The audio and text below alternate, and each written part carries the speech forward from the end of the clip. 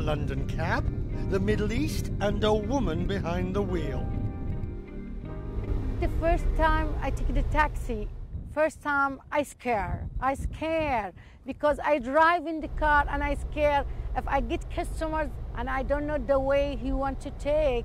I scare, but I say I will do it. I will do it, and I will take him. I will see I'm the best lady to drive the car, and I take him.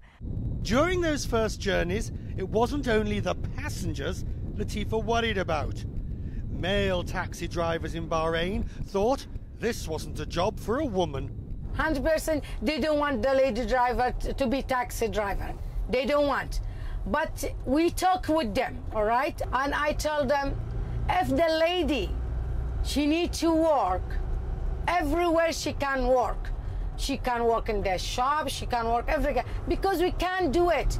Right. Le- give us chance to do it. Are they giving you a chance now? They give us very very good chance. Seven months on, Latifa's driving like she's been a cabbie for years. This is we have this one uh, university. This is university for Bahrain. Like the Kingdom of Bahrain itself, the way Latifa's going about her business shows a combination of modern life and traditional values. Do you always drive in the abaya and uh, uh, with the scarf? Yeah, yeah. All the, all the time we wear an abaya and a scarf because because uh, I first time we are Muslim. Second time we are uh, when we wear abaya this one they respect you. Latifa was in her mid 40s and semi retired when she decided to drive a cab. I thought, oh, this is good idea.